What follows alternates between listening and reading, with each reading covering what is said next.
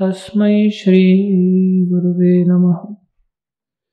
श्रीचैतन्यमनोभीष्टं स्थापितं येन भूतले स्वयं रूपदा मह्यं ददाति स्वपदान्तिकम् वन्देऽहं श्रीगुरु श्रीयुतापदकमलं श्रीगुरुन् वैष्णवांश श्रीरूपं साग्रजातं सहगना तं सजीवम्।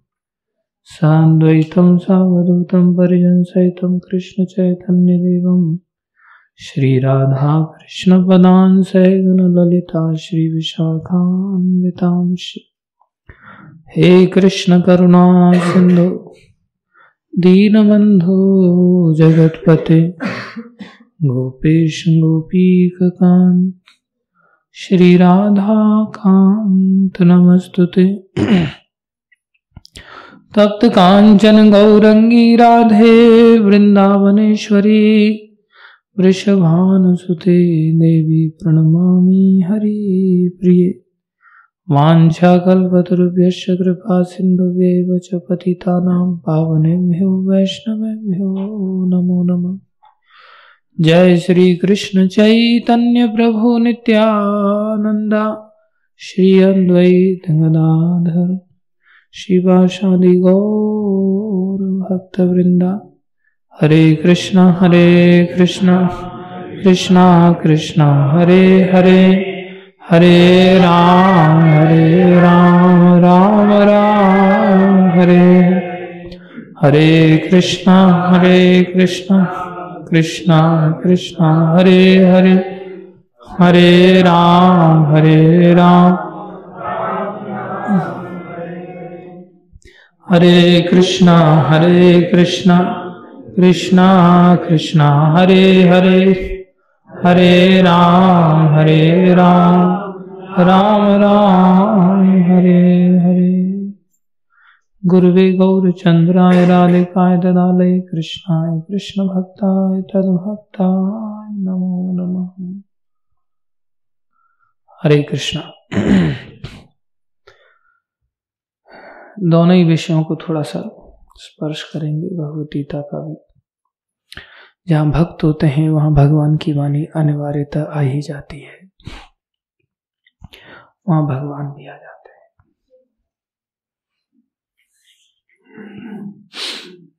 कल हम नवदीप से जब लोग वृंदावन की ओर आते हैं, उनको ये पता चला नवदीप में बहुत सारे लोग वेदांत की शिक्षा पढ़ने के लिए जाया करते थे। उस समय पढ़ाई का केंद्र था नवदीप।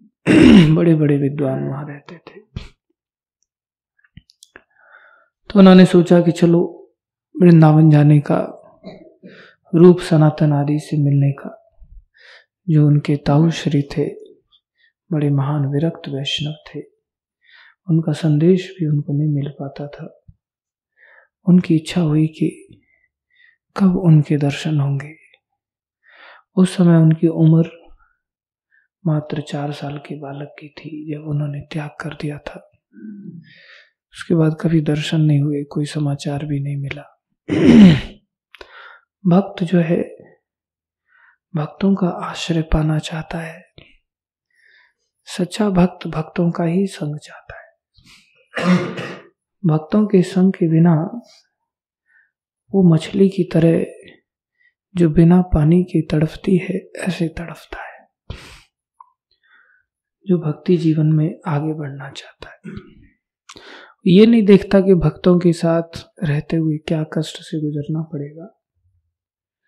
नहीं, जीवन में भक्तों का संग ही सर्वोत्कृष्ट साधन है।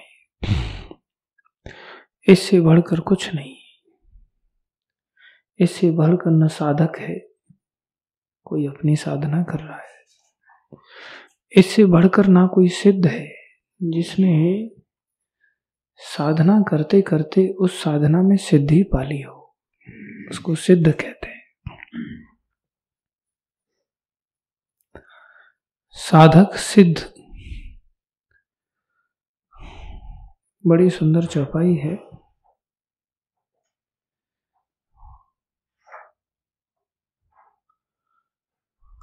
रामायण में ऐसा वर्णन आता है। उसमें कई सारे शब्द हैं। साधक जो साधन में लगा है और भगवान के भक्तों का आश्रय नहीं लिया तो उसका कोई वैल्यू नहीं रह जाता।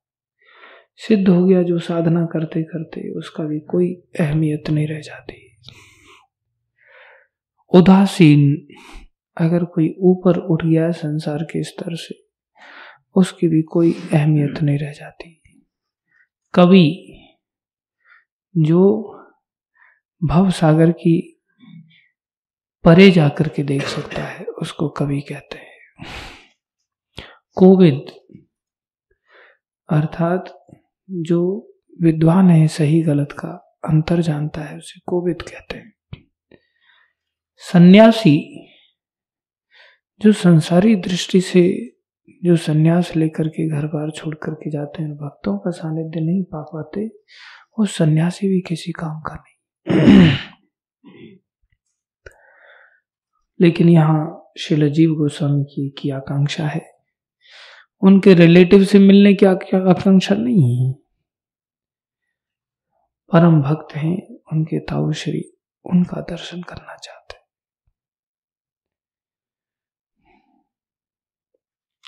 और यही सबसे बड़ा कल्याणकारी कार्य है। संसार में इससे बड़ा शुभ और कुछ है ही नहीं। भक्तों की संगति अगर प्राप्त हो जाए तो उसके उद्धार में रत्ती भर भी संदेह नहीं रहता। अर्थात भक्तों के सानिध्य को लेकर के शास्त्र ने भी कहा साधु संग साधु संग साधु संग सर्व शास्त्र कहे। सारे शास्त्र इसी बात को कहते हैं। क्यों ऐसा कहते हैं? साधुओं की ऐसी क्या पहचान है? बोले ये सच्चे सन्यासी होते हैं। जो संसार में श्री कृष्ण के अतिरिक्त और कोई आश्रय लेते ही नहीं। अब यहाँ गृह त्याग की बात आई जिसको सन्यासी भी कहा जाता है कि भाई इन्होंने सन्यास ले लिया, त्याग कर दिया। गीता में भगवान छठवें अध्याय के पहले भी श्लोक में सन्यासी की परिभाषा भगवान दे रहे श्री भगवान उवाच, क्या कह रहे हैं? अनाश्रित कर्म फलम कार्यम कर्म करोती स सन्यासी च योगी च। न निरग्निर च अक्रिय। बोले, श्री भगवान ने कहा, जो पुरुष अपने कर्म फल के प्रति अनासक्त है, उस पर आश्रित नहीं। जो हम कार्य करते हैं, उसका जो फल आने वाला है, प्राय संसार में हम सभी उसके ही आश्रय को लेकर के जीवन जीते हमारे कर्म से हमें माता पिता आदि मिलते हैं। तो वो भी हमारा पूर्व का कर्म था। उसका फल मिला कि हमें कोई माता पिता प्राप्त हुए। माता पिता ने बहुत सारी चीज़ें हमारे लिए इकट्ठी करके रखी थी। माता पिता कहते थे, हम घर से निकाल देंगे, पढ़ाई नहीं करोगे तो। चल निकल बाहर। तो लाइन पर आ जाते थे। घर से निकाल देंगे, कैसे जिएँगे? तो हमारा फल है कर्म का। कि हमें माता पिता मिले, ज़मीन जायदाद मिली, मकान, दुकान मिला, धंधा पानी मिला खेती बाड़ी मिली। हम उनके आश्रय में जीवन जीते। बोले, जो पुरुष अपने कर्म, फल के प्रति अनासक्त है और जो अपने कर्तव्य का पालन करता है कैसी विचित्र बात है? वही सन्यासी और असली योगी, वह नहीं जो न तो अग्नि जलाता है, न कर्म करता है। हमको ऐसा लगता है जिसके पास भगवा कपड़ा है, इसको अग्नि वेश कहते हैं। वो व्यक्ति अग्नि नहीं जलाता। ऐसा भी मत है। अर्थात जहाँ से जैसे मिल जाए, उसी को खाता है। अग्नि जला करके चूल्हा जला करके भोजन पानी की व्यवस्था नहीं करता। यही कारण है कि मैं किचन में नहीं आता।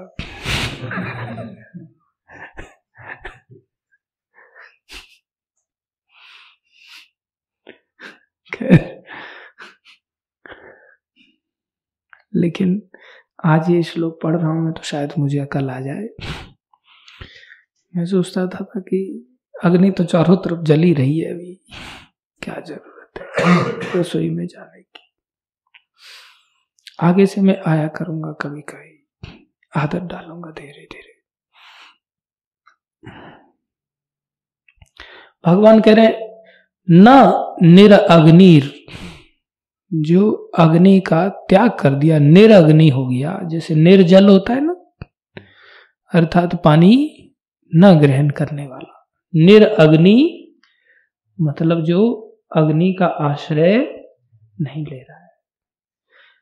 च अक्रिय। अर्थात जो कार्य नहीं करता, आराम से सो रहा है, आराम फरमा रहा है। क्यों? बहुत कुछ इकट्ठा किया हुआ है, आराम से। या तो इकट्ठा करने में आदमी लगा रहता है, कहा जा रहे हैं आप? कहा जा रहे अच्छा मम्मी को बोल दो क्लास चल रही है। यहीं से बोल दो। इसके लिए बाहर जाने की ज़रूरत नहीं।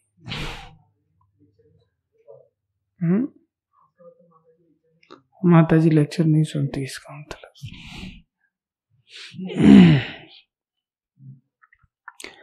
बोले, फिर सन्यासी कौन है और योगी कौन है? पहले तो योगी की पहले ही बात कर ली थी, भगवान ने दूसरे अध्याय में हमने बताया था कि जिसके हृदय में कोई कामना ही ना हो।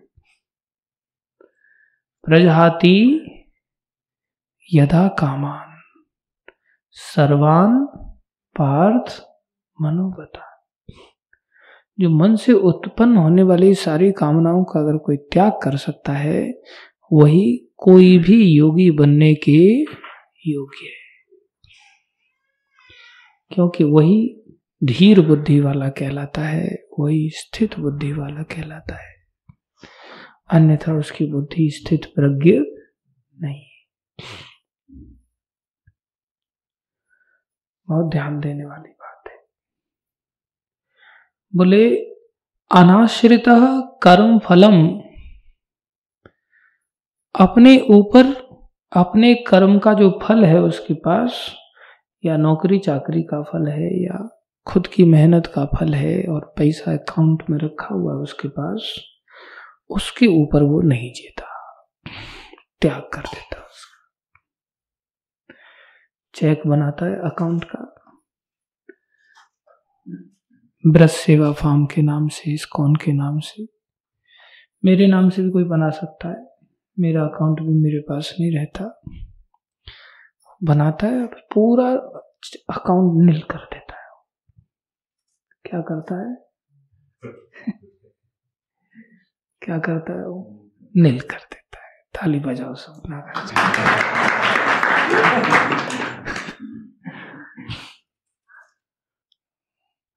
और एकदम मलबा त्याग करता है ऐसे, फेंक देता है ऐसे। ऐसे ही थे जीव गोस्वामी। अद्भुत चरित्र इनका। कैसी बात कर रहे हैं भगवान? कोई व्यक्ति जहाँ से फल की प्राप्ति होती, उसके लिए ही तो कार्य करता है। फल की प्राप्ति नहीं हो, उससे कोई काम करवा के दिखाओ कोई नहीं करता। कुछ न कुछ सबको चाहिए भक्ति भी करते हैं तो कुछ न कुछ प्राप्ति की आशा से। निष्काम भक्ति नहीं हो पाती, इसलिए सच्चे सन्यासी नहीं बन पाते। अनाश्रित कर्म फलम फिर क्या है? कार्यम कर्म करोती यह बोले कार्यम अर्थात कर्म, दोनों में क्या अंतर है? कार्यम कर्म करोती है क्या अंतर है कार्य और कर्म में? क्या अंतर है कार्य और कर्म में? कार्य मतलब करणीय कार्य, आदेशित कार्य। जो आदेश दिया गया वो कार्य।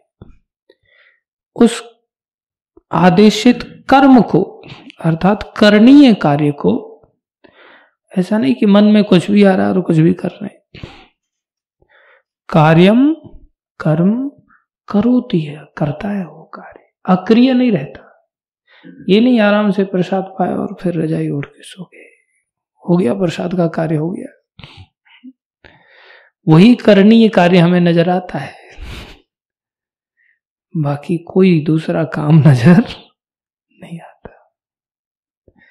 फिर तो भक्त लोग प्रसाद खिलाते हैं तो देवता नज़र आते हैं और फिर प्रसाद के बाद अगर आशा की दृष्टि से देखते हुए नज़र आते हैं ना कि भैया थोड़ा सा झाड़ू लगा दोगे, थोड़ा सा वाइपर मार दोगे। तो ऐसा लगता है इनके सामने ही मत पड़ो बिल्कुल। तो बहुत कठिन हो जाता है, आँखें चुरानी पड़ती।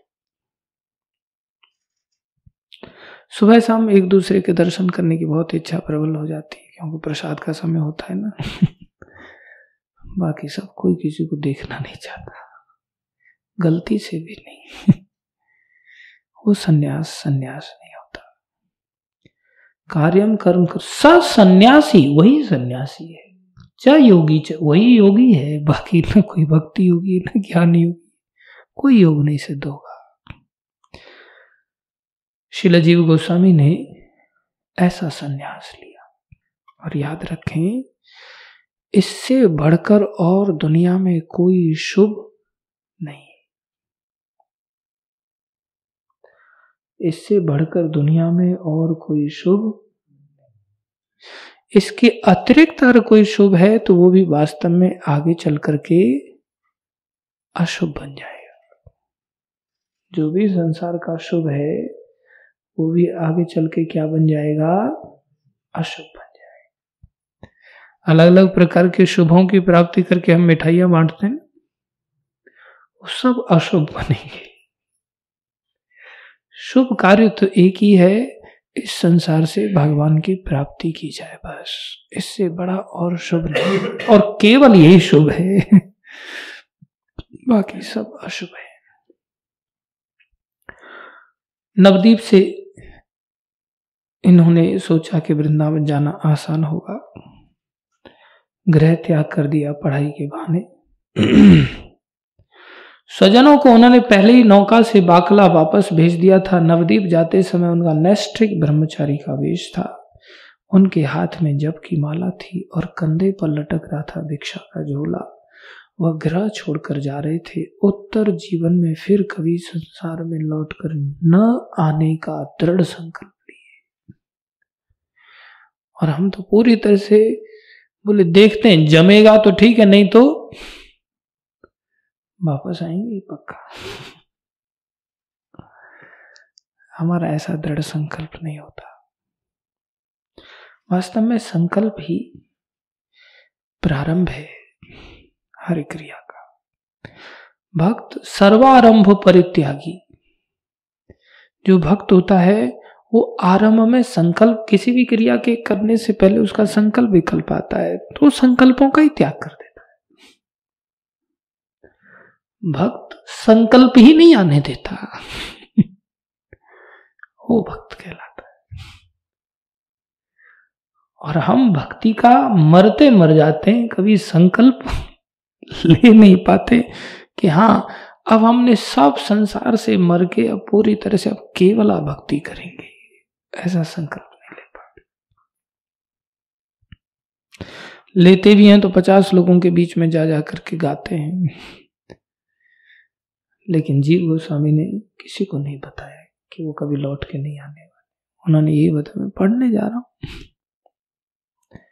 क्या हुआ? नवदीप पहुँचते ही सहसा उनका भाग्य सूर्य उदय हुआ। खड़दह से नित्यानंद प्रभु कई दिन पूर्व सदल बल वहाँ आए थे और श्रीवास पंडित के घर ठहरे हुए थे। मानव श्री जीव पर कृपा करने के उद्देश्य से ही उन्होंने नवदीप की यात्रा की थी। और उनके आगमन की प्रतीक्षा कर रहे थे। जीव को नवदीप में पैर रखते ही शुभ संवाद मिला। वे भाव विभोर अवस्था में उल्टे सीधे पैर रखते झट जा पहुँचे श्रीवास पंडित के घर और लौट गए नित्यानंद प्रभु के चरणों रूप सनातन के भ्रातुष पुत्र को अपने चरणों में पड़ा देख नित्यानंद का आनंद समुद्र उमड़ पड़ा। उद्दंड नृत्य कीर्तन करते उन्होंने अपना चरण उनके मस्तक पर रखा और आशीर्वाद दिया। नित्यानंद प्रभु की कृपा मिली। उन्हें अपने साथ ले जाकर गौर लीला के चिन्हित स्थानों का दर्शन कराया। ये भक्तों की संगति का फल होता है। वो भगवती लीला का ही स्मरण कराते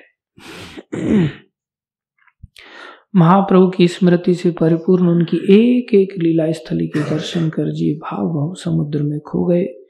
दूसरे दिन नित्यानंद प्रभु से हाथ जोड़कर बोले, प्रभु, आपकी कृपा से महाप्रभु की आदि लीला के सभी स्थानों के दर्शन कर लिए। अब आज्ञा दें, नीलाचल जाकर उनकी अंत्य लीला स्थलियों के दर्शन कराने की। वहाँ से लौटकर मेरी इच्छा है आपके दास रूप में आपकी चरण छाया में रहकर साधन भजन करने की। आप मुझे अंगीकार करने की कृपा करें। और नित्यानंद प्रभु को तरुण जीव के मुखारविंद की दिव्य कांति, तीक्ष्ण नाशिका प्रशस्त ललाट और तेजस्विता और नेत्रों की भावमय उद्दीपना देख भूल न हुई उन्हें भविष्य के वैष्णव समाज के नायक के रूप में पहचानने में कि ये आने वाले समय में एक लीडर होंगे वैष्णव समाज की। उन्होंने उन्हें प्रेम से आलिंगन करते हुए कहा, शीघ्र ब्रजे करो प्रयाण। तुम्हार वंश प्रभु दिया छई सही स्थान। हुई उन्हें भविष्य के वैश्य समाज के नायक के रूप में पहचाने।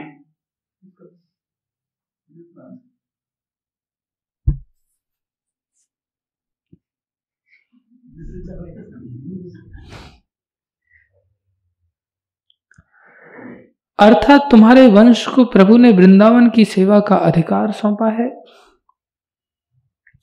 इसलिए तुम वृंदावन जाओ। शीघ्र ब्रजे करो प्रयाण, तुम्हार वंश प्रभु दिया छे से स्थान।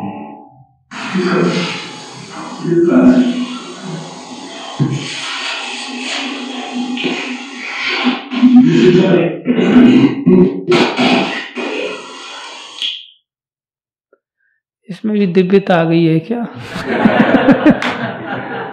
भाव में आ गया लगता है ये भी।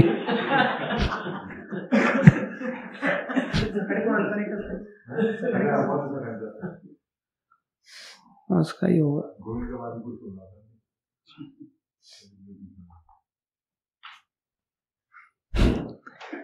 बख्श देना उसको।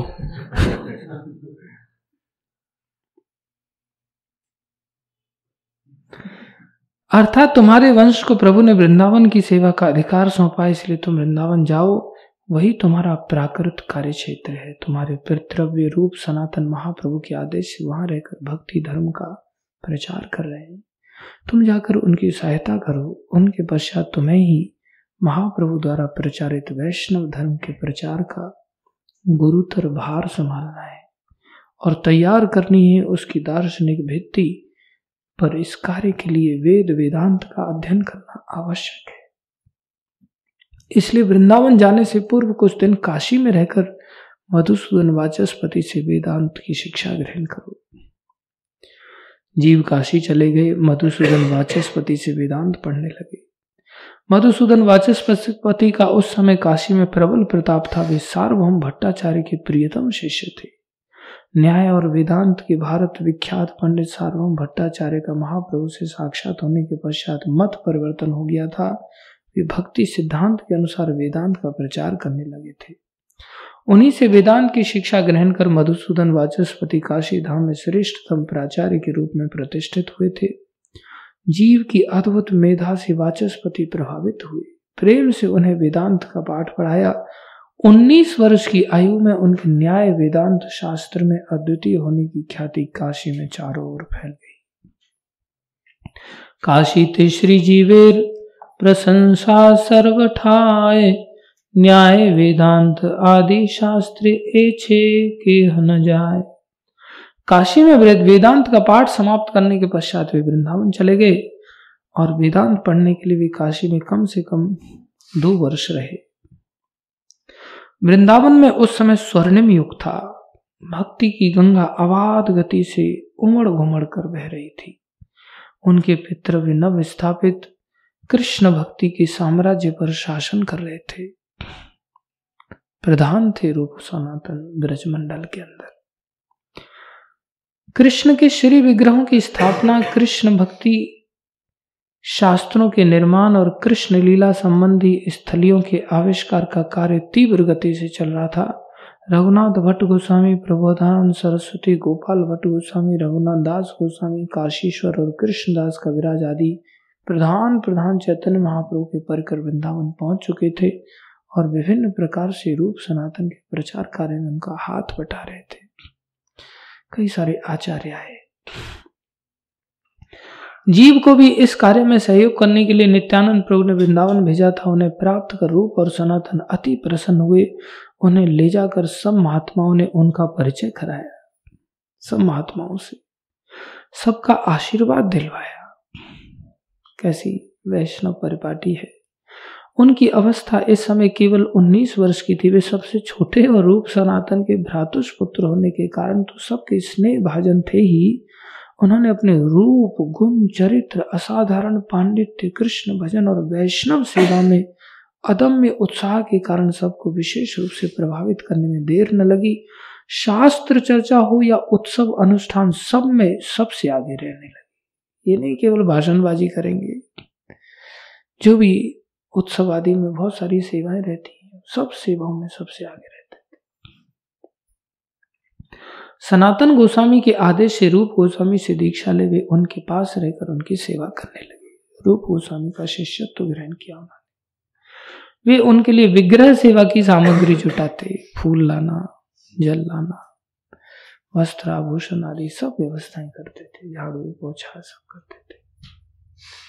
उनके लिए विग्रह की सेवा पूजा में उनकी सहायता करते, उनके भोजन कर लेने पर उनका प्रसाद ग्रहण करते, उनके शयन करने पर उनका पाद संवाहन करते पैर दबाते रूप उनके ग्रंथ रचना के समय पोथी पत्र जुटा कर देते। आवश्यकता होने पर विभिन्न ग्रंथों से आवश्यक श्लोकों को खोज कर देते। हाँ। कैसे महान थे। और जब जिस प्रकार से आवश्यक होता ग्रंथ रचना में उनकी सहायता करते ये सब आचार्यों ने बहुत ग्रंथ लिखे। अनेकों शास्त्रों के प्रखंड विद्वान थे सभी आचार्य। भक्ति रत्नाकर और प्रेम विलास में उल्लेख है कि जब रूप गोस्वामी भक्ति रसामर सिंधु की रचना में लगे थे, उसी समय क्या घटना घटी? बहुत सुंदर घटना है। दिग्विजय श्री वल्लभ भट्ट आए उनसे मिलने दिग्विजय आया। देखो कैसे थे जीव गोस्वामी। जय हो। ये वल्लभ भट्ट वल्लभाचार्य हैं। एक और दिग्विजय भी आए थे। यहाँ वल्लभाचार्य का भी एक घटना है। उनसे मिलने उस समय जीव गोस्वामी उनके निकट बैठे पंखा कर रहे थे। उस समय बिजली बिजली कोई ऐसा सुविधाएँ नहीं थी। पंखा जलना गुरुदेव के लिए। रूप गोस्वामी ने उन्हें आदर पूर्वक आसन दिया। कुछ वार्तालाप करने के पश्चात वल्लभ भट्ट भक्ति रसामर सिंधु के पन्ने उलट के देखने लगे और उन्होंने देखा, बोले, क्या कर रहे हो रूप आजकल?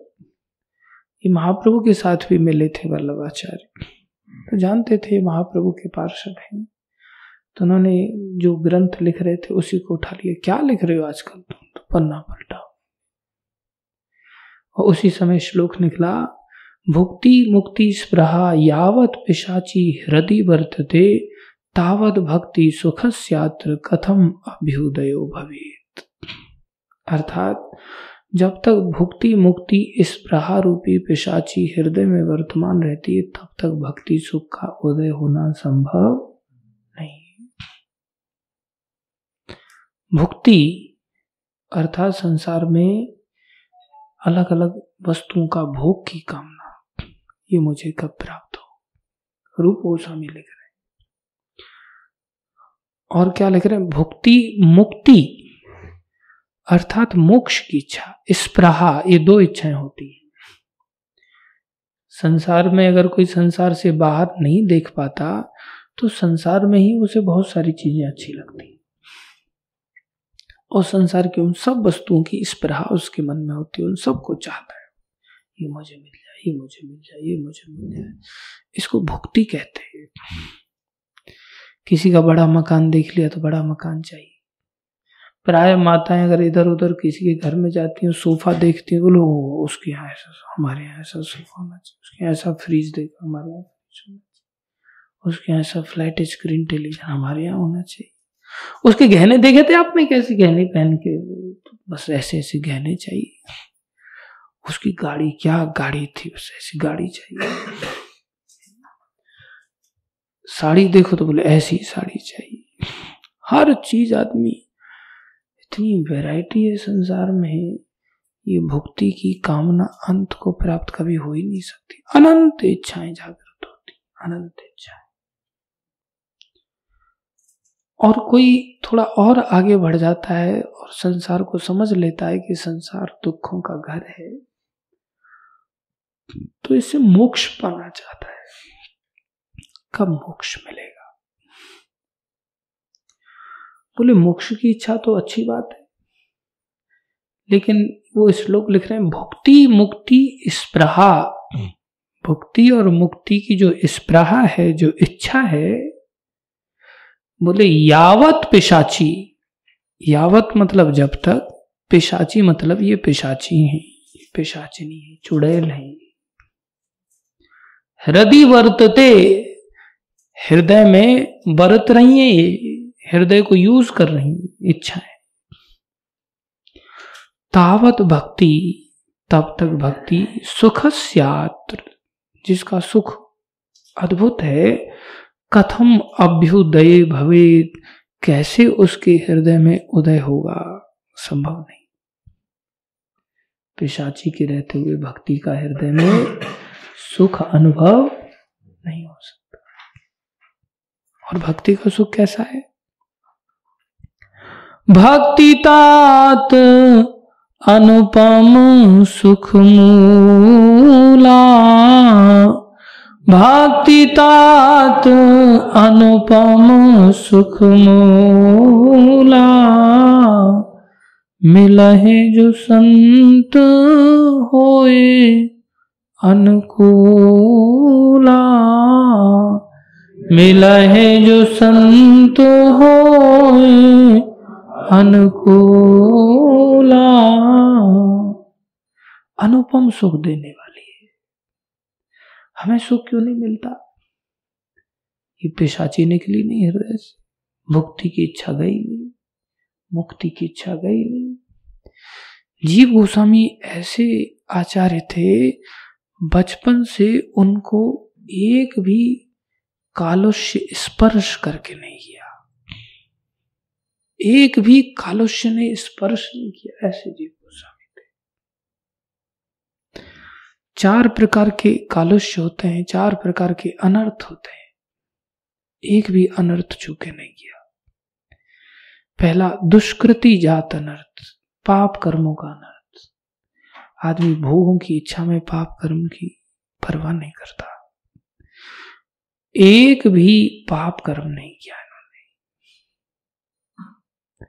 दुष्कृति जात अनर्थ, कैसे? पर्सनालिटी होंगे सुकृति जात अनर्थ, संसार की भोगों की कामनाओं को लेकर के जो पुण्य कर्म किए जाते वो भी अनर्थ होते वो भी भगवान से दूर ले जाते पुण्य कर्म भी, सुकृति, इससे भी ये बचे रहे। तीसरा होता है भक्ति जात अनर्थ, भक्ति से भी अनर्थ पैदा होता है, भक्ति से पैसा धेला ये सब चीज़ें आती हैं। ये भी नहीं छू पाया चौथा होता है वैष्णव अपराध, भक्त जनित अपराध। भक्तों के साथ अपराध हो जाते हैं, भक्तों से द्वेष हो जाता है। ये भी इनको स्पर्श करके नहीं किया। कौन होगा दुनिया में जिसको ये चार अपराधों ने ना घेरा हो? जब भी हम जिस स्तर पर पहुँचे, उस स्तर पर हम सभी इन अनर्थों से ग्रसित हो ही जाते हैं। लेकिन जीव गोस्वामी के बारे में ऐसा वर्णन आता है कि इनको एक भी अनर्थ स्पर्श करके नहीं किया।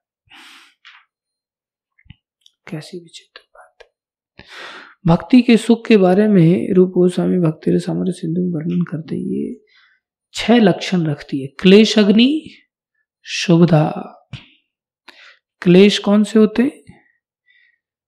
तीन प्रकार के क्लेश होते कितने प्रकार के क्लेश? तीन प्रकार के। पहला क्लेश है पाप। पहला क्लेश क्या है? पाप। ये पाप भी चार प्रकार के होते हैं। पाप भी कितने प्रकार के होते हैं? चार प्रकार के। कौन कौन से? क्रियमान, जिसको प्रारब्ध कहते हैं। संचित, जिसको अप्रारब्ध कहते हैं। कूट और बीज। ये चार प्रकार के पाप होते हैं।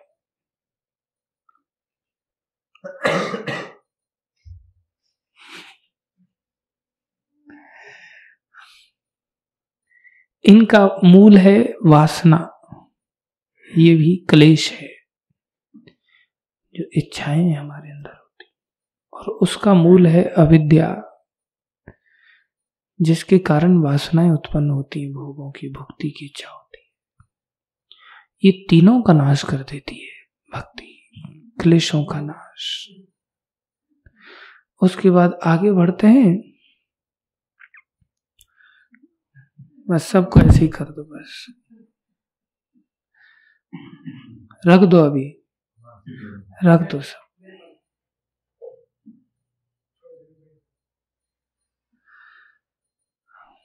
तो तीसरा है शुभदा, दूसरा है शुभदा। क्लेशों का नाश करती है, पहले भक्ति, उसके बाद शुभ देती है। ये शुभ भी कई प्रकार के होते हैं। सबसे पहला शुभ होता है जगत पीड़न। सबसे पहला शुभ क्या है? जगत पीड़न। जगत के लोग हालाँकि भक्त भिकमंगे होते एक प्रकार से। लेकिन उनको सारे संसार की संगति में सुख नहीं मिलता और ऐसे भिखारियों के पास बैठने से उनको बड़ा आनंद की अनुभूति होती क्यों आनंद की अनुभूति होती है? उनकी भक्ति के कारण। उनके पास उठने बैठने से ही भक्ति का एक अलग आनंद आता है। वो दो शब्द कहते हैं तो उसमें अलग ही एक आनंद की झलक होती जगत पीड़न होता है। दूसरा शुभ होता है, इसको कहते हैं जगत अनुराग। संसार के लोग उससे प्रीति करते हैं। जब जिसको शांति मिलेगी अच्छा लगेगा तो उसके पास प्रेम अपने आप ही चला जाएगा ना उसका। तो संसार के लोग ऐसे भक्तों से प्रेम करने लगते हैं। उसको कहते हैं जगत अनुराग। सारा संसार ऐसे भक्तों से प्रेम करता है। चारों तरफ़ से लोग प्रेम, होनी चाहिए भक्ति, लेकिन भक्ति नहीं है तो नहीं होगा। तीसरा है, उसके अंदर सर्व गुणों का उदय होता है। सारे गुणों का उदय, अपने आप विनम्रता आ जाएगी, दमहीनता आ जाएगी, अनेकों गुण उनके अंदर आ जाएँगे, उदारता आदि। चौथा है, उसको सभी प्रकार के सुखों की प्राप्ति होती है। ये चार शुभ होते हैं। कौन कौन से? जगत पीड़न, जगत अनुराग, सर्व गुणों का उदय, दिव्य गुणों का उदय, और चौथा, सर्व सुख की प्राप्ति होती है। ये सुख भी तीन प्रकार के होते हैं। सुख भी कितने प्रकार के होते हैं? तीन प्रकार। पहला सुख है वैषयिक सुख। पहला सुख कौन सा है? वैषयिक सुख। उसके जीवन में विषयी जितने भी सुख होते हैं, वो सब आएँगे। उसके बाद पैसे का सुख आएगा उसके पास स्त्री का सुख आएगा उसके पास गाड़ी बंगले का सुख आएगा, धन दौलत का सुख आएगा, सब वैषयिक सुख आएँगे उसके पास। भक्ति करने वाले के पास। उससे श्रेष्ठ सुख भी आएगा, उसको ब्राह्म सुख कहते कौन सा सुख? ब्राह्म सुख। और उससे भी बढ़कर के है भगवत सुख की प्राप्ति होगी उसको। भगवान के सानिध्य की अनुभूति होगी तब तीसरा लक्षण प्रकट होता है, उसको कहते मोक्ष लघुता। मोक्ष भी तुच्छ नज़र आएगा। और इतना तुच्छ नज़र आएगा कि मोक्ष पिशाची नज़र आएगी। मोक्ष की इच्छा क्या नज़र आएगी? पिशाची नज़र आएगी। इतना तुच्छ बन जाता है। तो क्या कह रहे हैं भगवान यहाँ? जीव गोस्वामी जब पंखा झल रहे थे, उसी समय वल्लभ भट्ट ने आकर के देखा और कहा, भुक्ति मुक्ति स्प्रहा यावत पिशाची हृदय वर्तित। लेकिन भक्ति करने वाले के हृदय में ना मुक्ति की इच्छा हो, ना भुक्ति की इच्छा हो। इससे ऊपर की बात है, भक्ति की इच्छा होनी चाहिए। मम जन्मनी जन्मनी ईश्वरे भवतात भक्तिर अहेतु की त्वयी। मेरे जन्म पर्यंत जन्म हो, मुझे परवाह नहीं, लेकिन मुझे आपकी भक्ति चाहिए। जब उन्होंने देखा और यही कारण है हम लोगों के अंदर एक तो भुक्ति बहुत बहुत कूट कूट के भरी पड़ी एक एक भुक्ति की वस्तु पे ही टूट मरते हैं। और फिर मुक्ति की इच्छा तो साथ में चाहते हैं, बोले नरक चले गए तो गर्भ में चले गए तो किसी योनि में चले गए तो इतना डर लगता है। इसी कारण से भक्ति के सुख का हम अनुभूति नहीं कर पाते उन्होंने पिशाची शब्द श्लोक से निकालकर इस प्रकार उसका संशोधन करने की बात कही। उन्होंने कहा, व्यापनोति हृदय यावत भुक्ति मुक्ति स्प्रहाग्रह। रूप गोस्वामी ने उनके प्रति श्रद्धा और अपने दैन्य के कारण संशोधन सहर स्वीकार कर लिया। उन्होंने, ये पिशाची शब्द ठीक नहीं लग रहा है। मुक्ति के लिए पिशाची। भुक्ति के लिए भी पिशाची को हटा दो, क्योंकि वेदों में भी मुक्ति के लिए कहा गया है। तो इसे पिशाची तुम कैसे कह सकते? पिशाची तो बहुत ज़्यादा ही घृणित शब्द है। जब उन्होंने कहा तो दीनता व श्रद्धा के कारण वल्लभाचार्य की इस बात को, ठीक है, मैं संशोधन कर दूँगा। जीव को उनका संशोधन नहीं जचा। जीव गोस्वामी को अच्छा नहीं लगा कि मेरे गुरुदेव इतने प्रखंड विद्वान हैं। महाप्रभु की कृपा पात्र हैं। महाप्रभु ने इनके अंदर शक्ति का संचार किया है। जैसे ब्रह्मा के अंदर शक्ति का संचार करने से उनके अंदर सृष्टि रचने की सामर्थ्य आई, ऐसे ही महाप्रभु ने इनको भक्ति का पिता बनाया है। भक्ति का पिता बनाया है। ये ऐसी भक्ति के दाता है सारे संसार के जीवों के लिए। और इनको ये शिक्षा दे रहे हैं और कह रहे हैं कि आपने गलत लिखा है। संशोधन कर दो। उनको अच्छा नहीं लगा। उन्हें एक नवागत व्यक्ति का गुरुदेव जैसे महापंडित और शास्त्रज्ञ की रचना का संशोधन करने का साहस भी पंडितों के शिष्टाचार के प्रतिकूल लगा। इन्होंने हिम्मत कैसे कर दी? ये तो शिष्टाचार भी नहीं है पंडितों का। और क्रोधाग्नि उनके भीतर सुलगने लगी। पर गुरुदेव उस संशोधन को स्वीकार कर चुके थे, इसलिए वे उनके सामने कुछ कह नहीं सके। पंखा जलते रहे।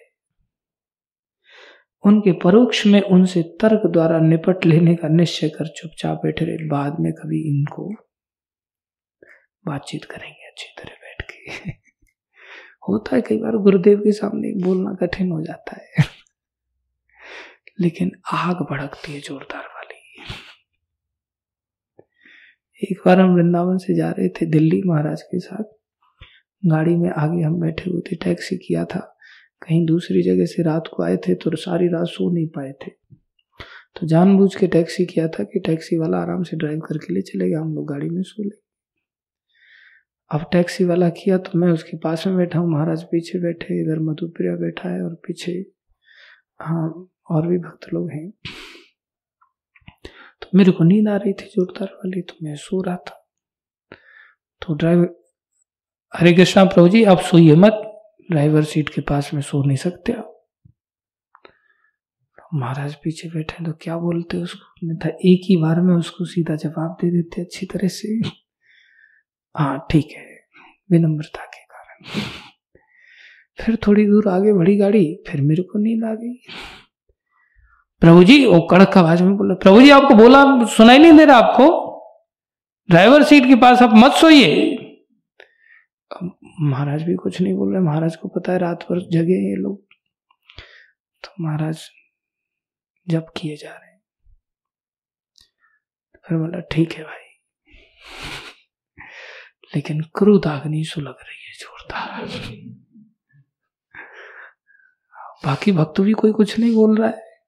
मैं सोच रहा हूँ कोई शुरुआत कर दे तो बाद में तो मैं देख ही लू। कोई शुरुआत नहीं कर रहा है। फिर गाड़ी और आगे बढ़ी, में मैं थोड़ा और सावधान मैंने कुछ छिड़का मारा थोड़ा सा पानी की छोटी सी बोतल से। फिर नींद आ गई। अब तो उसने सीधा गाड़ी साइड में खड़ी कर दी। पूछा, आपने क्यों गाड़ी खड़ी कर दी? आप इनको या तो बस में आने के लिए बोल दीजिए। तो मधुप्रिया प्रभु भड़क गए। बोले, तुम कैसी बात कर रहे हो? तुम पैसे नहीं ले रहे हो क्या? फुकट में लेकर के चल रहे हो क्या? टैक्सी क्यों करता है कोई आदमी? आराम से बैठ करके जाने के लिए। तेरे को नींद क्यों? तूने रेस्ट करना चाहिए सारी रात। फिर भी मैं थोड़ा, मैं बोला कोई और बोल रहा है तो फिर मेरे को बोलने के महाराज फिर भी कुछ नहीं बोले। पीछे से भी एक आध भक्त ने थोड़ा सा सपोर्ट कर दिया।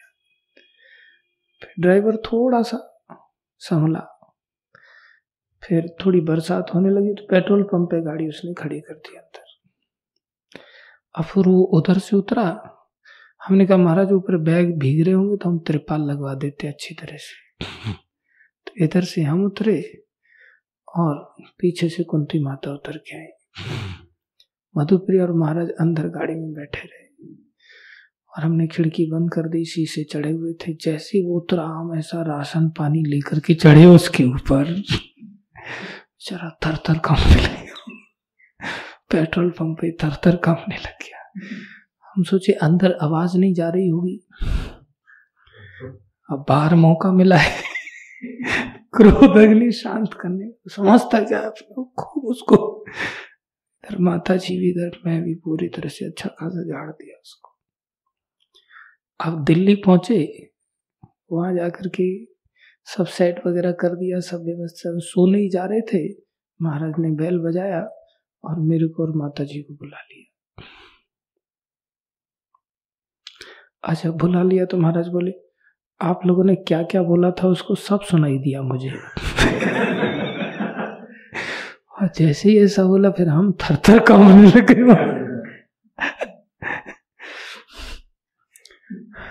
महाराज बोले ऐसा दोबारा कभी नहीं करना।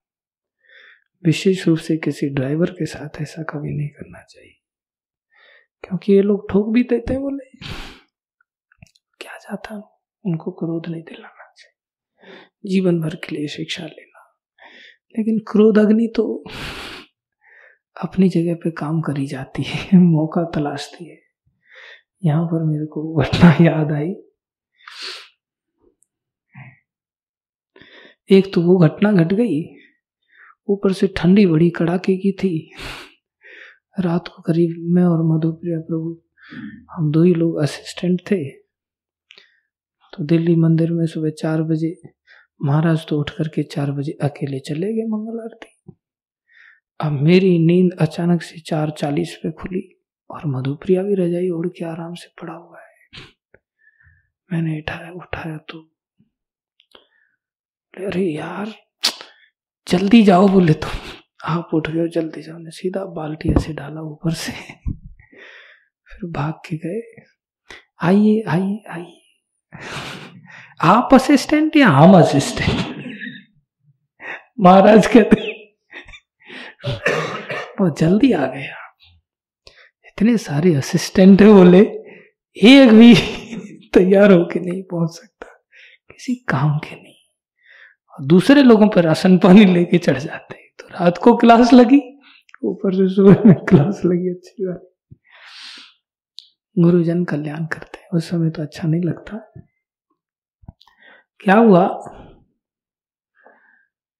उनके सामने कुछ कह न सके। उनके परोक्ष रूप में उनसे तर्क द्वारा निपट लेने का निश्चय कर चुपचाप बैठे वे क्या वे क्या जानते थे कि जिन्होंने संशोधन सुझाया है? वे कोई साधारण व्यक्ति नहीं, एक दिग्विजयी पंडित हैं। थोड़ी देर बाद जब वल्लभ भट्ट जमुना स्नान को गए तो वे भी उनके वस्त्र आदि लेकर उनके पीछे पीछे चले गए। कुछ दूर जाकर क्रुद्ध और कठोर सलमान श्रीमान, आपने भक्ति साम्र सिंधु में जो संशोधन सुझाया, वह ठीक नहीं गुरुदेव ने तो केवल दैन्य वस्तु से स्वीकार कर लिया है। ऐसी दीनता की मूर्ति थे। पंडित हक्का बक्का से तरुण की ओर देखते रह गए। वल्लभाचार्य का सम्मान था। गुरुदेव ने स्वीकार कर लिया, चेला ऐसा बोल रहा है। कुछ अपने आप को संभालते बोले, क्यों भाई, मुक्ति को पिशाची कहना तुम्हें अच्छा लगता है? मुक्ति बहुत से साधकों की काम्य वस्तु और सिद्धों की चिर संगनी है, शोक नाशनी और आनंददायनी है। उसकी पिशाची से तुलना करना अनुचित नहीं है।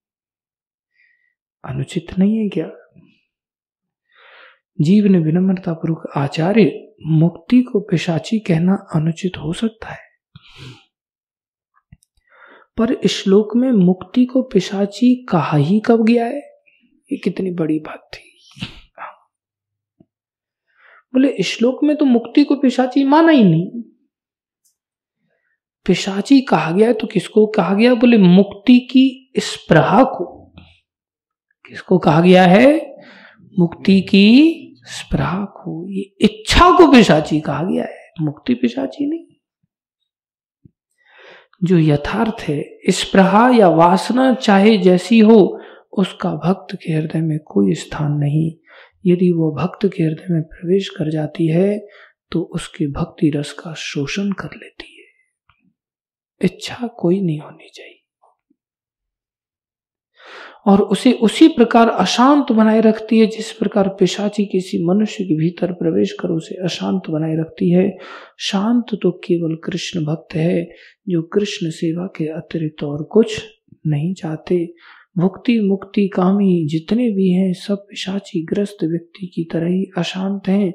इस श्लोक में पिशाची शब्द का प्रयोग किए बिना भी काम तो चल सकता था पर उसके बगैर श्लोक का भाव इतने प्रभावशाली ढंग से स्पष्ट न होता, इसलिए पिशासी शब्द का उसमें रहना ही ठीक है। ऐसा जीव गोस्वामी ने समझा दिया। जीव आवेश में यह सब कहे जा रहे थे, पर आचार्य पाद का ध्यान जमा हुआ था उनके पहले वाक्य पर ही। वे उनके परिपेक्ष में श्लोक को फिर से परखते हुए मन ही मन कह रहे थे नविवोक ठीक ही तो कह रहा है। इस श्लोक में पिशाची मुक्ति की स्प्रहा को कहा गया है, ना कि मुक्ति को। मेरा मन मुक्ति के प्रसंग मात्र में पिशाची शब्द के प्रयोग से इतना उद्विग्न हो गया था कि इस प्रहा की ओर ध्यान ही नहीं गया। मन मन सोच रहे आचार्य।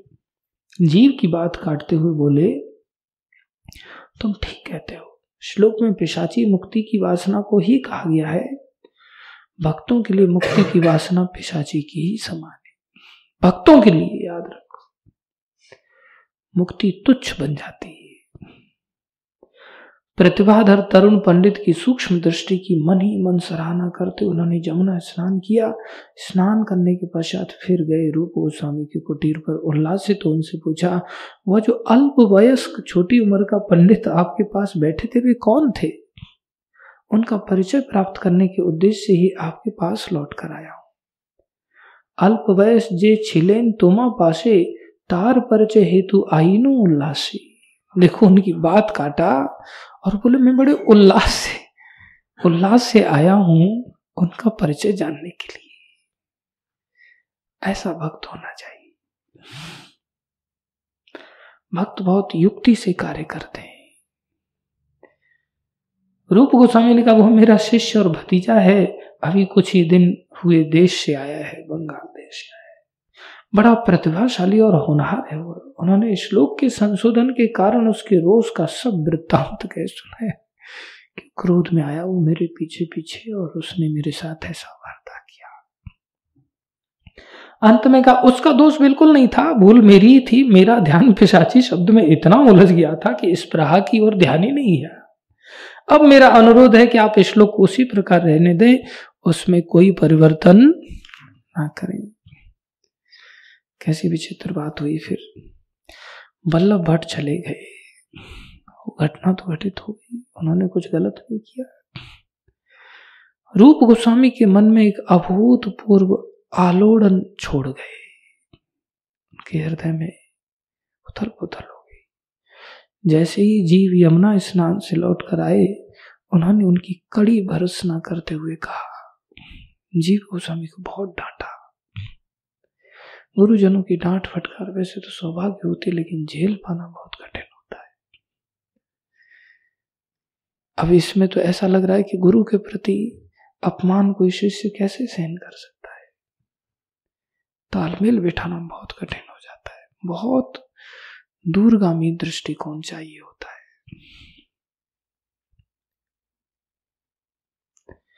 देखो, रूप गोस्वामी कैसे है। भक्ति रत्नाकर ग्रंथ क्या कह रहा है?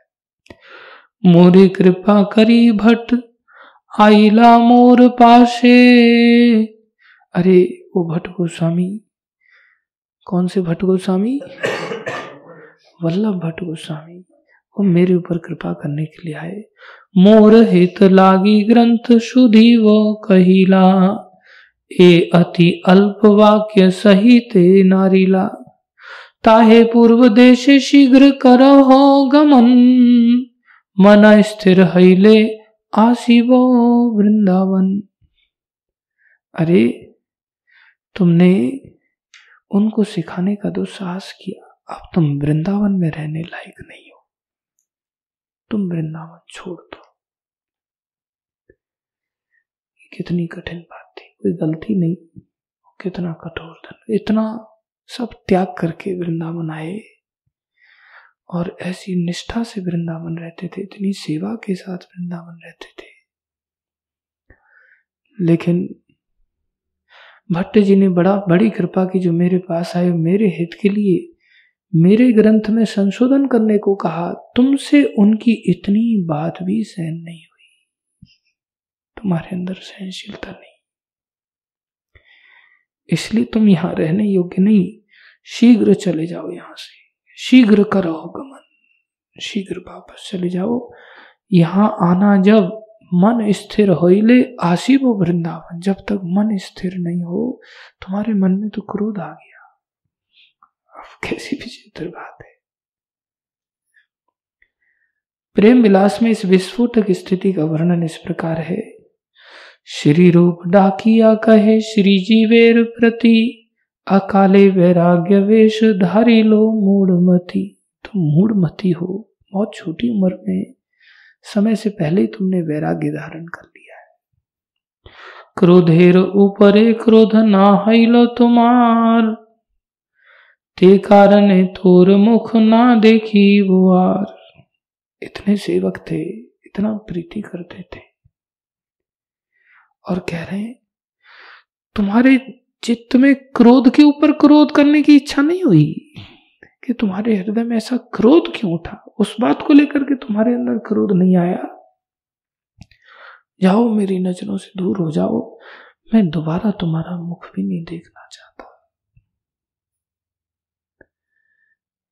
ये दशा तो जीव गोस्वामी के साथ हो रही जिनको कि चारों कलुषों में से कोई छूके नहीं गया। कितना प्रेम होगा। वल्लभाचार्य के साथ उनका वार्तालाप गुरु के प्रति प्रेम का ही तो प्रदर्शन था। देखा जाए तो प्रेम ही था, वो कैसे सहन कर सकते थे? और गलत कुछ था ही नहीं। रूप गोस्वामी ने जीव को बोला, अरे मूड तू वैराग्य वेश के योग्य नहीं है। तुमने अपरिपक्व अवस्था में ही वैराग्य धारण कर लिया। तुझे क्रोध आया और क्रोध के ऊपर क्रोध नहीं आया। जा, यहाँ से वापस चला जा। मैं तेरा मुख भी नहीं देखना चाहता। कैसी दीनता की मूर्ति थे कि वल्लभाचार्य ने जो कहा, उसको संशोधन को स्वीकार कर लिया। लेकिन शिष्य के आचरण को सहन नहीं कर पाए। इससे पता चलता है कि गुरु की शिष्य के प्रति कैसी कठोर ज़िम्मेदारी होती है। कितना कठोर शासन दीन गुरु भी कर सकता है शिष्य के ऊपर।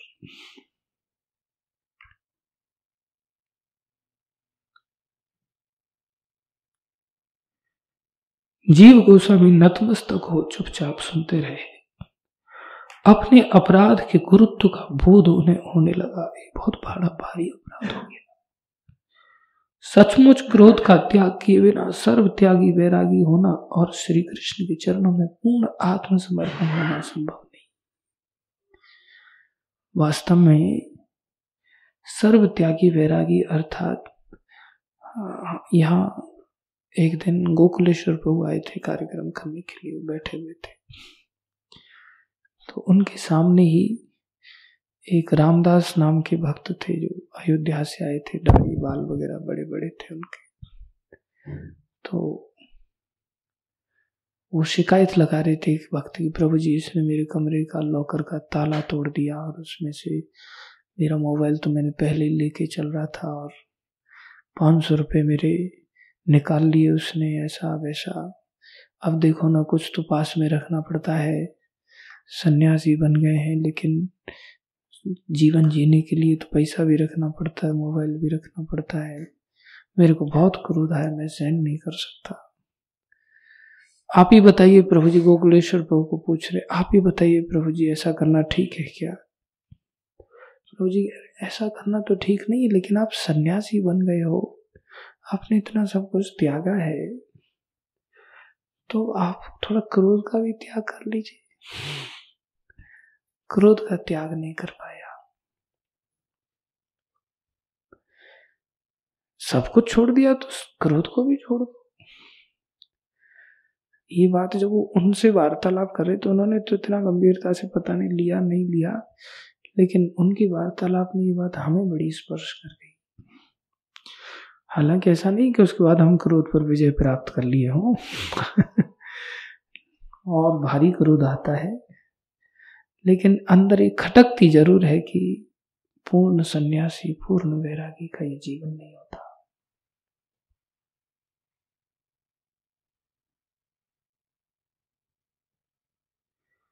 बोले श्री कृष्ण के चरणों में आत्मसमर्पण होना संभव नहीं। सच्चा आत्मसमर्पण नहीं हो सकता। शोक और अनुताप की अग्नि उनके अंदर में धू धू करके जलने लगी। बड़ा शोक करने लगी। मुझसे ये कैसे ऐसी भूल हो गई? और गुरु आज्ञा शुरू धारे कर, क्रंदन करते करते उन्हें प्रमाण, प्रणाम कर, वे वहाँ से चलती कोई बहसबाजी नहीं। मेरी क्या गलती है? क्या है? क्या नहीं? ठीक है, वहाँ से चल पड़े जीव वृंदावन से बहुत दूर, निर्जन वन प्रांत में एक पर्ण कुटी निर्माण कर उसमें रहने लगे। देखो, एक मन तो कह रहा है, मर जाना अच्छा है।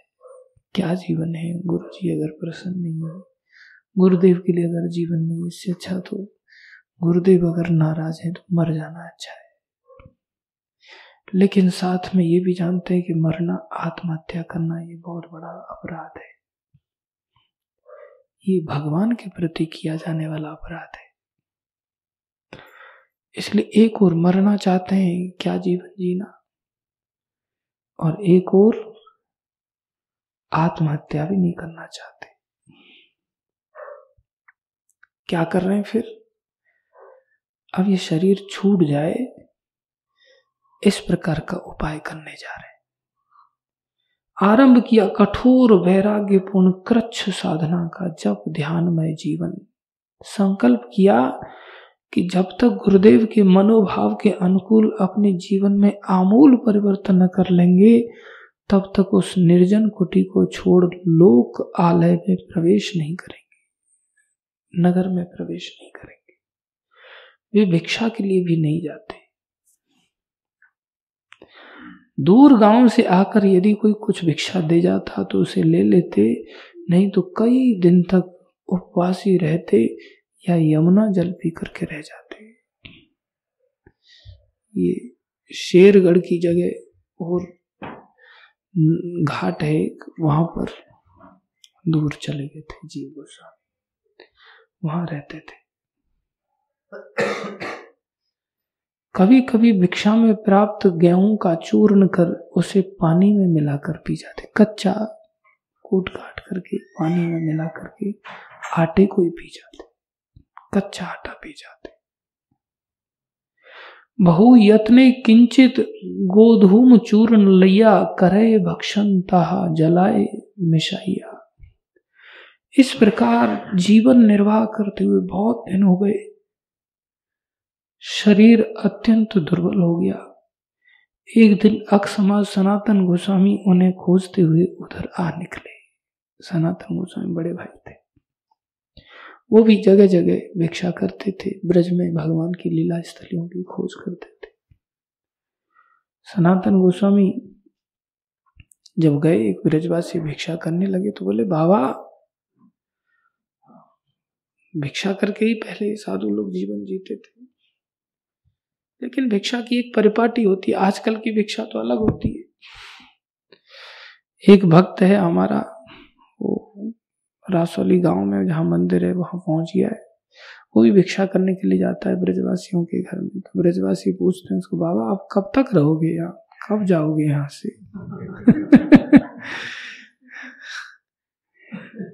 क्योंकि ब्रजवासियों के घर में जाता है और जाकर के क्या बोलता है भाई?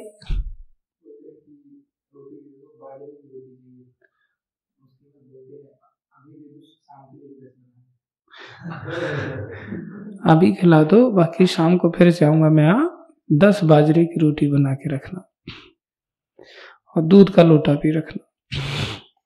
मतलब उपकार कर रहा है ब्रजवासियों के ऊपर जाकर के। ब्रजवासी फिर भी बेचारे, वो कह रहे हैं, बाबा, पूछते हैं, आप कब तक रहेंगे? तो तो वो कहता है मेरे गुरुजी ने मेरे को एक महीना तपस्या करने का आदेश दिया है। एक महीना तपस्या कर रहा हूँ मैं यहाँ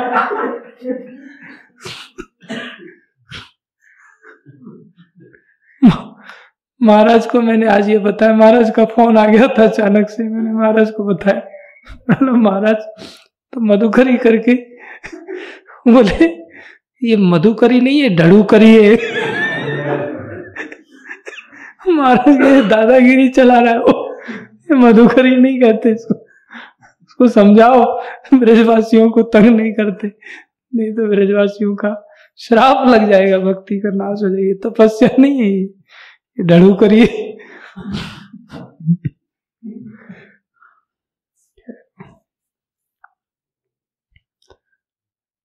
सनातन गोस्वामी भिक्षा करने के लिए गए तो वहाँ एक ब्रजवासी परिवार के तो बाबा, आप यहाँ मांगने आते हो? अरे, हमारे यहाँ तो एक ऐसा बाबा है, जो बेचारा गुफा में ही पड़ा रहता है। वो कभी किसी के मांगने नहीं जाता, वो तो यमुना के जल में ही आटा घोल करके पी लेता है। सनातन गोस्वामी हैरान हो गए।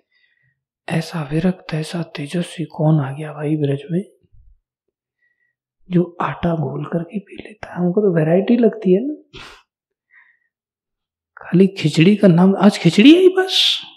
बस। जैसे चावल ला के रख दिया है, दाल ला के रख दिया है, सब्ज़ी ला के रख दिया है, गैस सिलेंडर ला के रख दिया है, कढ़ाई लगा दिया है, और उसमें काफ़ी देर तक पका के रख दिया है, भोग लगा दिया अब खिचड़ी है ही बस। तुम्हारा क्या है उसमें? खिचड़ी भगवान दे रहे तुम तो बर्तन भी नहीं धो सकते। जिसमें खाते वो थाली भी छोड़ करके, गिलास छोड़ करके बेचने में भाग जाते तुम्हारा अधिकार क्या है खिचड़ी का? भी कोई अधिकार नहीं। मंदिर तो भक्ति करने की सुविधा दे सकता है। बाकी तो किसी का कोई अधिकार नहीं। भगवान के ऊपर निर्भर रहना सीखना होता है। जो मिल जाए, ठीक है। तो आश्चर्य में डूब गए, ऐसा कौन है? कहा रहते बोली, यही गुफा में। तो लेकर के देखा, एकदम सूख करके बेचारे लकड़ी बन गए। दंड की भांति। उनको खोजते हुए उधर आने के लिए उनकी दशा देखकर उनका हृदय द्रवित हो गया। वृंदावन जाकर रूप गोस्वामी से उन्हें बुला लेने का अनुरोध करना चाहा। पर सहसा इस संबंध में कुछ न कहकर उनसे पूछा, देखो, कितना वैष्णव एटिकेट्स होते बड़े भाई हैं सनातन गोस्वामी। जीव गोस्वामी भतीजे भी हैं और रूप गोस्वामी के शिष्य भी अब गुरु शिष्य के बीच में क्या चल रहा है? कितना बड़ा कठोर धन वो मरने के कगार पर है और सोचा कि जाकर के रूप गोस्वामी को पहले अनुरोध करना चाह रहे हैं। बड़े होकर के भी छोटे भाई से अनुरोध करना चाह रहे हैं, ये सोचते हुए ये भक्ति में मेरे से बड़े हैं। अनुरोध करना चाह रहे हैं। लेकिन अनुरोध भी सीधा सीधा नहीं कर पाए। उन्होंने क्या बोला वहाँ? तुम्हारे भक्ति रसामर सिंधु का काम कहाँ तक हो पाया है? रूप? भक्ति रसामर सिंधु कहाँ पहुँची तुम्हारी लिख करके? रूप गोस्वामी कहते हैं, काम तो बहुत कुछ हो गया है। पर अब तक कवि का समाप्त हो लेता यदि जीव होता। कई बार ऐसा लगता है कि गुरुजन हमें डांट फटकार रहे हैं तो ऐसा लगता है इनके अंदर हमारे प्रति कोई प्रेम ही नहीं गुरु इन्होंने तो हमें घर से निकाल दिया, चित्त से नहीं। उनके हृदय में तो सबके प्रति प्रेम होता है, यही वैष्णवों की खासियत होती कहते यदि जीव होता उसे मैंने किसी अपराध के कारण अपने पास से हटा दिया है। रूप गोस्वामी ने उत्तर दिया। सनातन गोस्वामी ने अवसर पाकर तुरंत कहा, मैं सब जानता हूँ, उसे मैं देख कर रहा हूँ। अनाहार अनाहार, आहार ही नहीं। अनिद्रा, सोते भी नहीं। उपवास और कठोर तपस्या के कारण उसका शरीर इतना जर्जर हो गया है कि उसकी ओर देखा भी नहीं जाता। बस प्राण किसी प्रकार जाने से रुक रहे हैं। तुमने आजन्म महाप्रभु के जीवे दया नाम रुचि के सिद्धांत का पालन किया है, क्या अपने ही जीव को अपनी दया से वंचित रखोगे? सनातन गोस्वामी ऐसा उनको कहा। रूप गोस्वामी ने गुरुवत, ज्येष्ठ भ्राता का इंगित प्राप्त कर जीव को क्षमा करने का निश्चय किया। उसी समय किसी के हाथ पत्र भेजकर उन्हें अपने पास बुला लिया। जीव का प्रायश्चित तो हो ही चुका था। उनके स्वभाव में मनोवांछित परिवर्तन भी हो गया था। गुरुदेव की करुणा प्राप्त कर उन्होंने नया जीवन लाभ किया। वास्तव में देखा जाए तो यह सारी घटना प्रभु की प्रेरणा से ही हुई थी। इसमें दोष किसी का नहीं था। ऐसा हम जैसे मूर्खों को सिखाने के लिए थी ये घटना हम लोग पढ़ सके। इसके द्वारा प्रभु को, भक्त साधकों को हर प्रकार की कामना वासना, यहाँ तक कि मुक्ति तक की वासना से सावधान करना था। साथ ही वल्लभ भट्ट के संशोधन, जीव गोस्वामी के क्रोध और रूप गोस्वामी के शासन द्वारा भक्तों के कल्याण के लिए आदर्श स्थापित करना था। वल्लभ भट्ट से भूल करवा कर और उसे स्वीकार करवा कर उनके औदार्य का, जीव के संशोधन का प्रतिपाद करवा कर गुरु मर्यादा की रक्षा करने का रूप गोस्वामी से संशोधन स्वीकार करवा और जीव को दंड दिलवा कर उनके दैन्य का। इस संबंध में यह विशेष रूप से उल्लेखनीय है कि जीव गोस्वामी भक्ति रसामर सिंधु की अपनी टीका में उक्त श्लोक की व्याख्या करते समय वल्लभ भट्ट के संशोधित पाठ की भी सराहना की है। उन्होंने लिखा है, व्यापनोति हृदय यावत भक्ति मुक्ति स्प्रहाग्रह इति पाठन तरंतु सुलिष्टम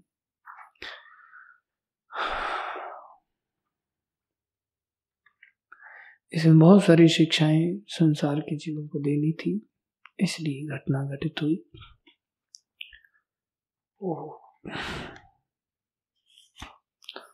कथा बड़ी लंबी है। वो भी हम पढ़ पढ़ के बहुत तेज़ी से सुना रहे हैं।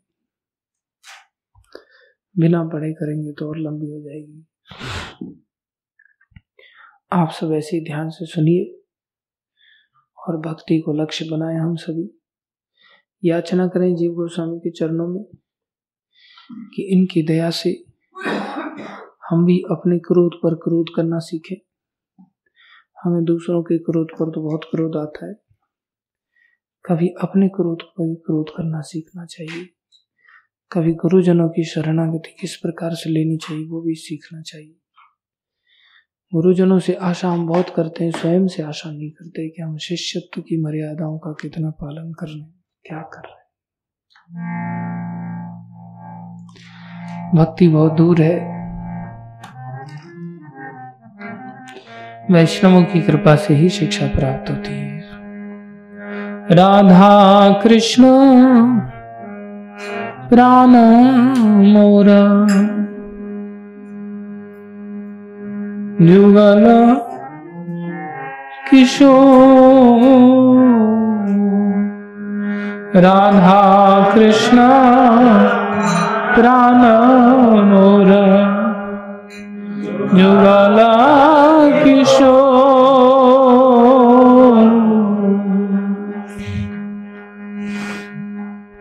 केवल संसार छोड़ना ही काफ़ी नहीं होता। संसार छोड़ना तो एक सीढ़ी है। यात्रा तो उसके बाद प्रारंभ होती है। जीवन मरने गति आर नहीं मो जीवन रने गति आर मो जीवने मरने गति आर नहीं मो जीवने रने